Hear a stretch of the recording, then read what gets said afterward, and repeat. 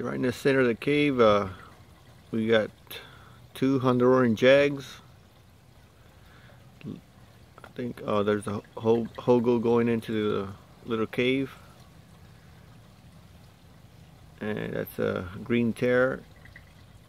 Midas up there. This is about the only time I can uh, record them Saturday mornings because that's the only time there's sunlight. That it, by the time I get home from work, there's only a couple places where the sun hits it. And then uh, usually I feed them. And then when I feed them, you can't see anything because uh, they're just coming up, hitting the water. But right here we got Oh, you can't see on the back in the shade, but it would have been a jag. That's a jag just swam, swam by. But watch. This is what happens when I start to, let me see, get some food.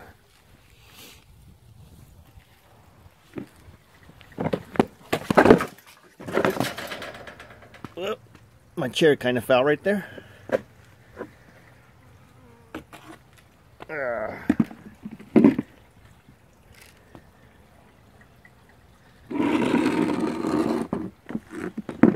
Trying to get, sit off to, in the corner where my shade doesn't uh,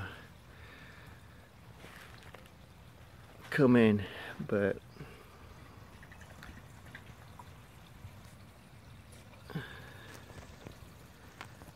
there they are. There goes a female festae.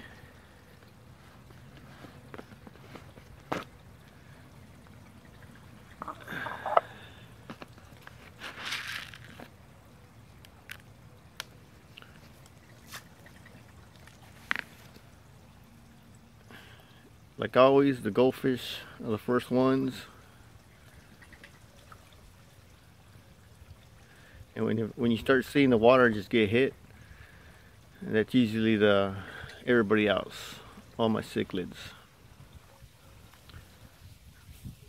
Hogo in the bottom. The, the first ones to spawn in the in the tank were uh,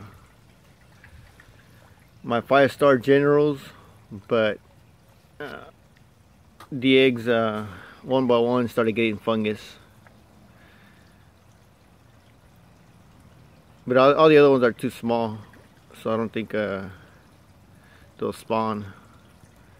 You know but right now I, I think the female festae is dropping her tube. So I'm not sure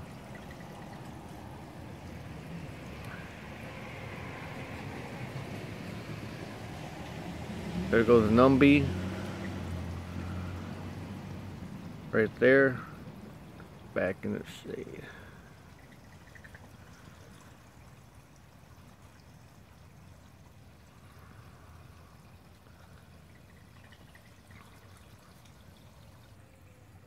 So this was uh, where my five-star generals uh, spawned at. And uh, it, the the spawn was a little bit bigger the first day I saw it. And uh, but now as you can see they're all covered in fungus. So I just pulled it out so that um, she won't spend any more days hovering over them trying to fan them and uh, hopefully the next one will be successful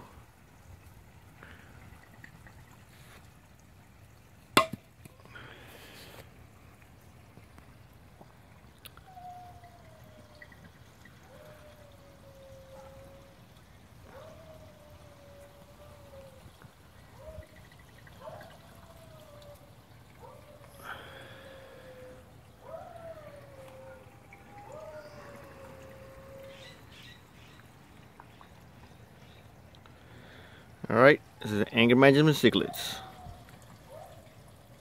Coming at you live from Central California. The Valley.